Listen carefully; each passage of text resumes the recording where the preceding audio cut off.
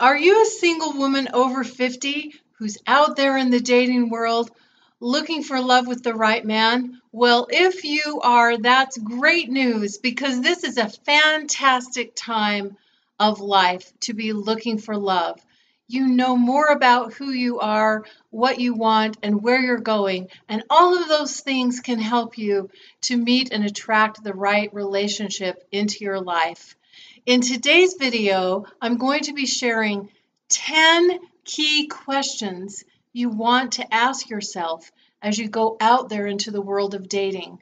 And even though I'll only be able to touch on each of them briefly, I promise that if you ask yourself these questions and think about them deeply and explore them in a significant way, they can make a big difference for you. So, my name is Michelle Marchant Johnson, and I'm with Love Life Coaching, and I'm privileged to work with incredible women around the world to help them be centered in their own value, make their decisions from that place of knowing their own value, and to attract their high quality man. So, let's jump in, shall we? Let's look at each one of these 10 questions. The first question you want to ask yourself is what do you really want in terms of a relationship at this stage in life? Do you want companionship? Do you want someone that you can be in a loving, committed partnership relationship with? Do you want that to lead to marriage? These are important questions to ask because you want to make sure that your vision of what you want for a relationship is aligned with the man that you want to partner with.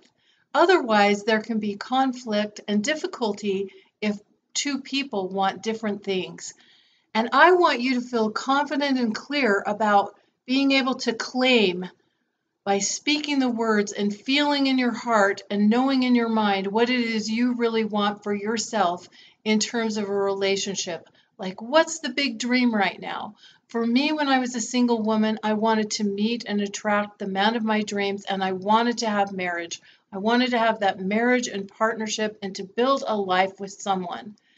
And acknowledging that was a really important thing for me because it helped me be clear so that I didn't get tempted to get into relationships with men who were not able or willing, for whatever reason, to provide that kind of relationship and partnership.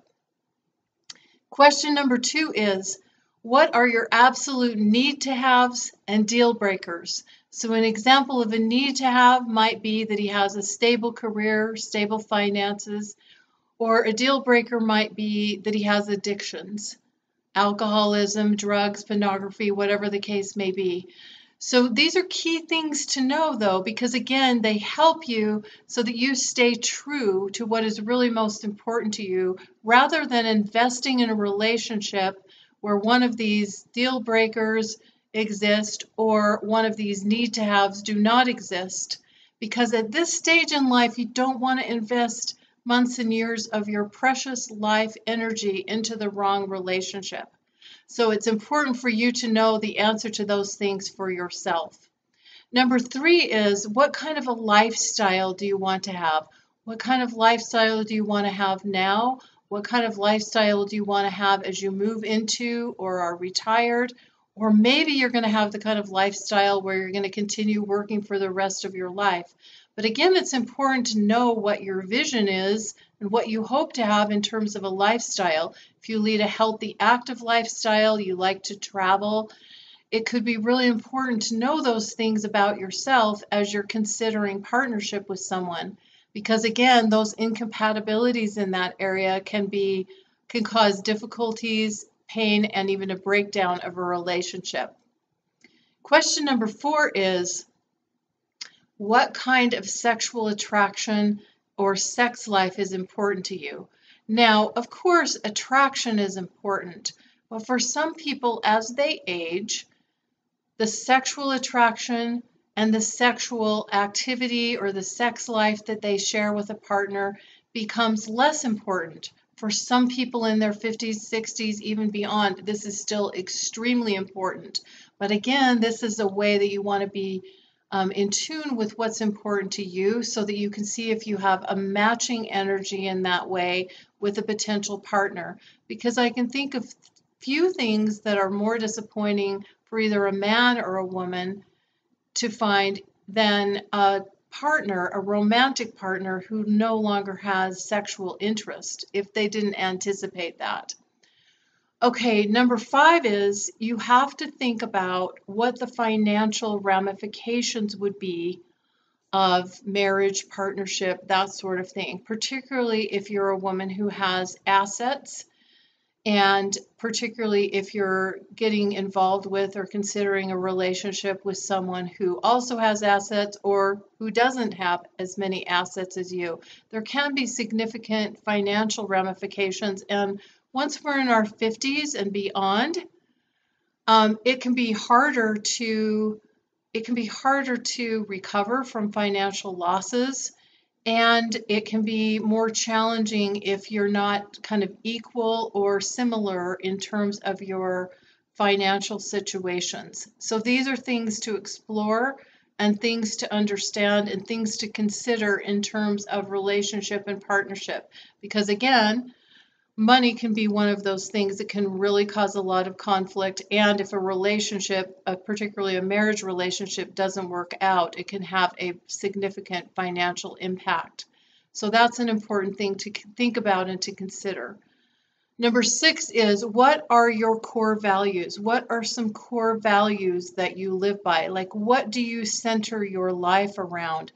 The ways that you invest your time, energy, money can be ways to consider looking at this because having someone with shared or similar or compatible values is one of the keys to having a successful relationship. Having values that are dramatically different oftentimes can cause conflict.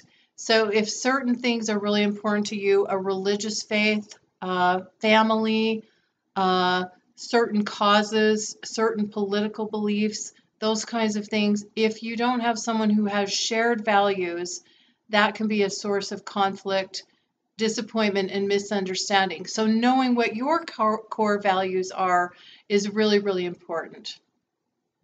Number seven is why do you want to have a relationship now? What in your life makes this the right time for a relationship with you? Yes, it's true that having a desire for a relationship is part of that, but also considering every other aspect of your life. If you have children still at home, if you have a demanding career situation, if you're caring for older parents, um, you know, those are things that can cause challenges in terms of your time and availability for a relationship. It doesn't mean you can't have one, but it's important to ask what makes it the right time or why is this the right time for you? And uh, consider some of the other things that are going on in your life and how that might impact you. Number eight is what might hold you back? What might hold you back from having a great relationship right now? Are there things that would get in the way? That's kind of related to the, the previous question. Number nine, I think this is a really important question to ask, are, is what are some of the key things, the key lessons, the key takeaways that you are bringing forward from past relationships? So hopefully, even if past relationships haven't worked out or have been disappointing or have ended in ways that were painful, there have been gifts in them in terms of the lessons and the wisdom that you have gained that you can bring forward not to make you bitter or not to project what is in the past onto a current or future relationship, but in, in terms of giving you wisdom and insights that can be valuable to help you avoid previous mistakes or errors of judgment or things that may have caused challenges or trouble in previous relationships. So, this is an opportunity to look over past relationship patterns some of the things that happened in past relationships and glean the gifts of wisdom from them so that you can have the knowledge to do better in a current or future relationship in those ways that you may have gotten in your own way um, in in previous relationships. Number 10 is What are your expectations of a relationship? Now, this is a really interesting one because whether we know it or not, all of us bring certain expectations with us into a relationship. Sometimes we're aware of them, sometimes we're not. Sometimes they're more like unconscious, but we have an idea of how things should be, what a man should do, how a man should show up, and what a relationship should look and feel like. That's okay. We all have them. Men coming into relationships will have them too.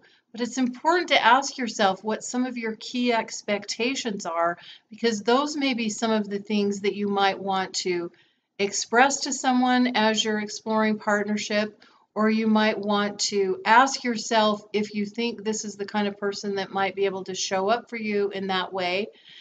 And another big piece of this is it's really important to recognize that no one person on the planet, no matter how wonderful the man may be, is going to meet all of your needs or all of your expectations.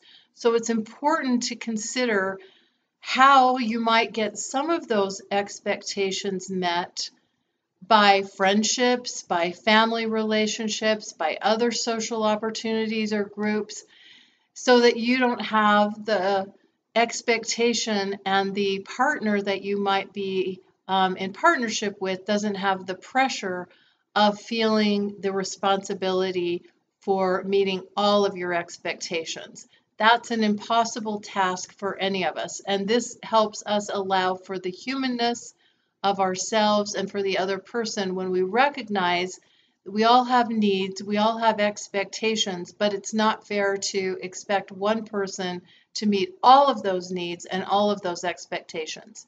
So you can also look at this from the point of view of what key expectations might I absolutely need to have from my romantic partner. So, for example, the sexual relationship, if you want to be in a monogamous relationship, that would be a an expectation that you would have and a need that you would have to come solely from that romantic partner.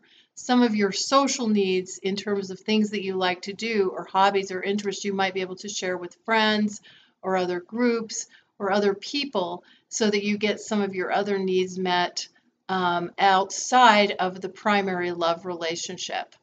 So I think these are 10 key questions to think about. Each one of these could be a video in and of themselves.